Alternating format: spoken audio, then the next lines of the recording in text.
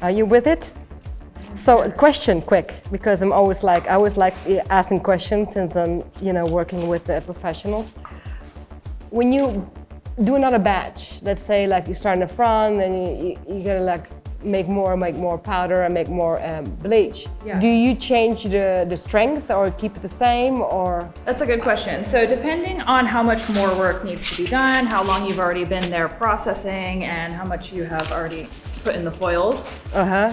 if you had like the other half of the head to do, I would definitely change up the developer. So, my rule of thumb is I like to start really low and slow at the beginning because you can always add a higher concentration of Blondor to developer or even bump up your developer and make it like cook a little quicker basically. Okay. So if you start low, you can always go up from there. But if you start too high, then you're left with that situation where you're like, what do I do? I have to rinse it out. She's already blown out and over processed.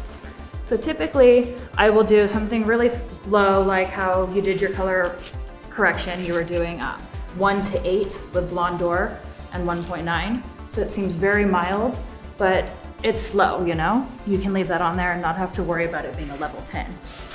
Well, it was definitely slow since I was done by like early evening, but it really worked because I felt like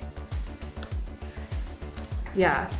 You didn't overprocess it, you didn't overblow it out of proportion there. But, not the front, the back maybe, but not the front.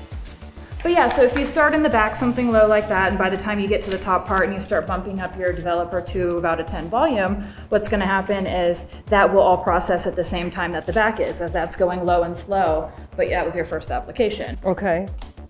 So your back might be on for, you know, like an hour sometimes or more, mm-hmm. depending how long, how fast you move. And that needs to move as fast or needs to catch up with the top, you know what I'm saying? So mm-hmm. if you switch up your developer to have it cook quicker, you gotta be mindful of that as well. Okay. That's always helpful.